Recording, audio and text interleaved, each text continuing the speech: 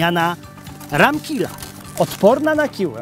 O okresie wegetacji 120-130 dni odmiana kapusty to właśnie doskonała propozycja dla wszystkich, którzy chcą pewnie uzyskać bardzo wysokiej jakości plon o doskonałej strukturze wewnętrznej, cienkim liściu kapusty do przetwórstwa.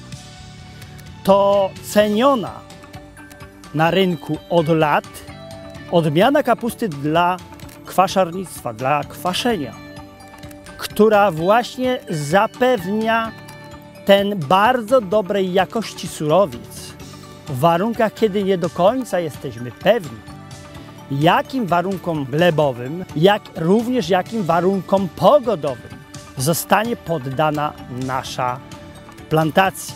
Ta kapusta również może być przechowywana przez okres 3 do 4 miesięcy i w tym okresie albo podawana na świeży rynek, albo kwaszona.